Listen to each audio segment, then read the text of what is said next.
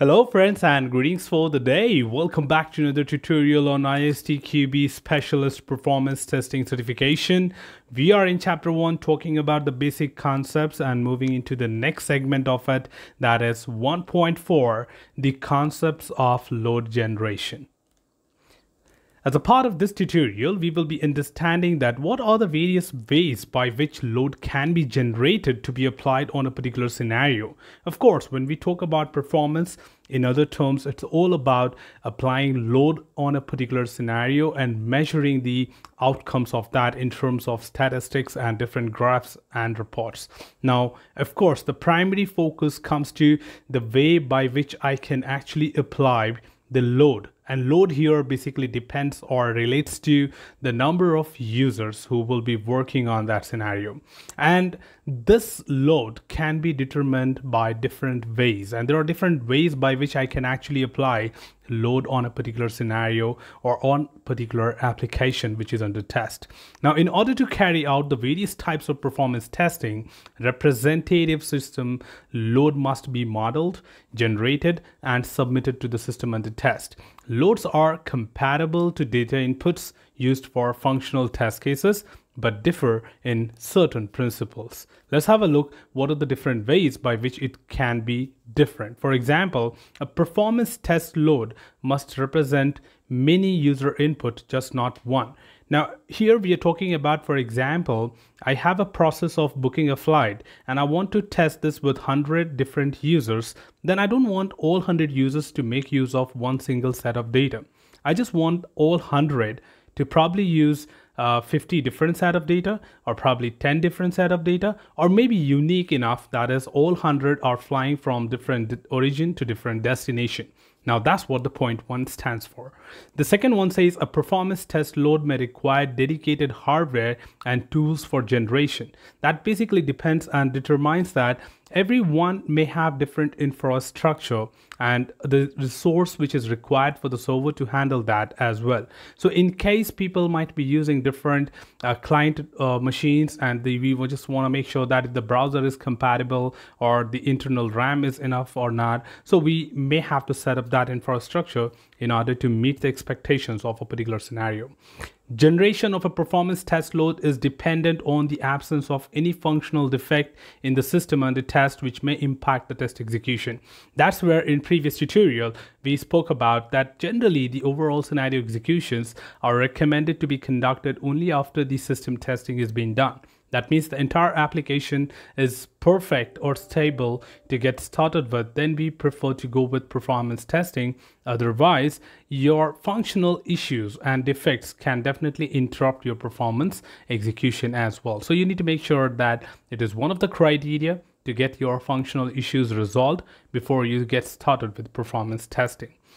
The efficient and reliable generation of specified load is a key success factor when conducting performance tests and there are different ways by which you can actually generate it.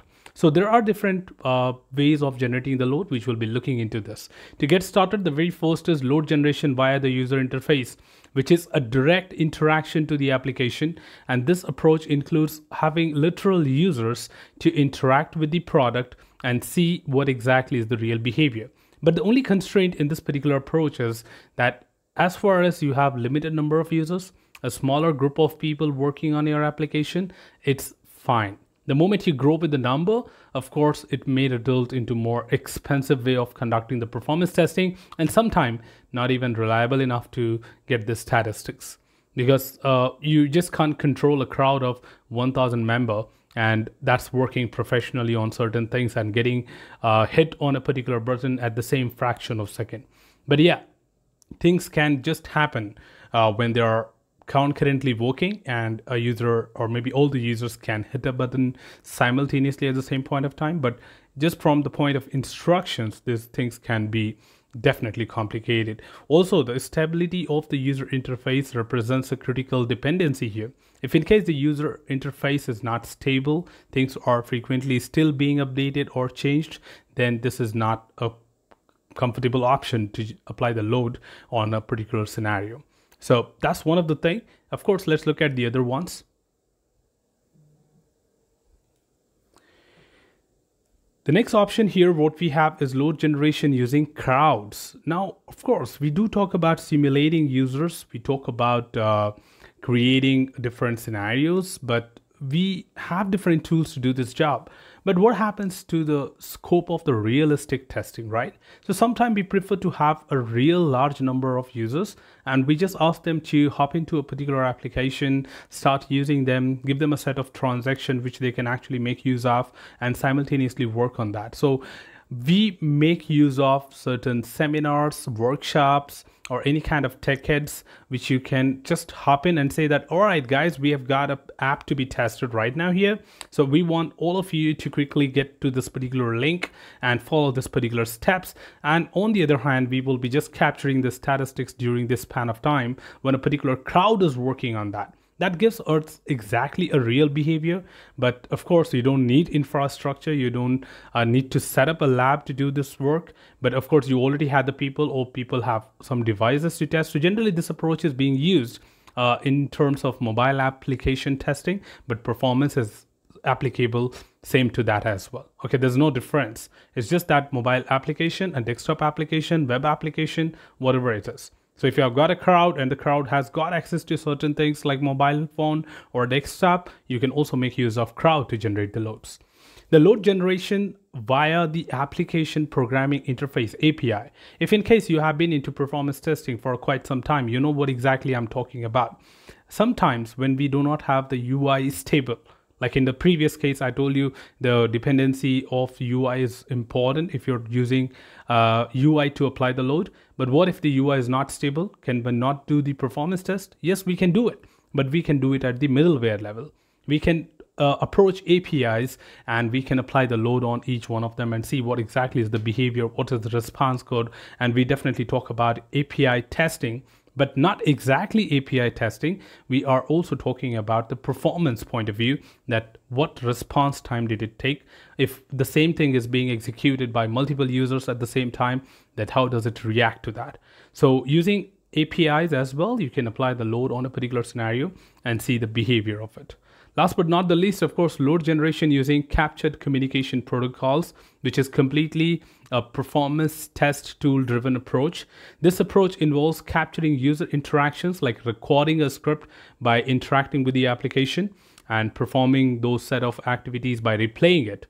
And uh, this is done with help of the system under test uh, initially, you start with set of the protocols which you want uh, or this application works upon.